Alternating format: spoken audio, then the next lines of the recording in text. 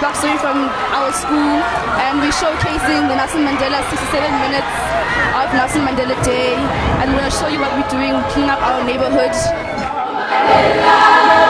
We are giving up our 67 minutes to clean up the community for Mandela Day in memory of his birthday.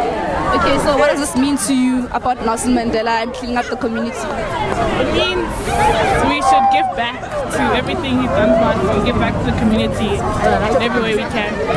I think that they should actually be very grateful to their communities and I mean give give back and try and do what we're doing because you know what we study in this area and I think they should also get out of their house and just spend 67 minutes just picking things up and just contributing because the big man done he, he done he done wonders and miracles for South Africa. When we came here, this place was a mess and it was dirty. And after our 67 minutes, they've cleaned it up.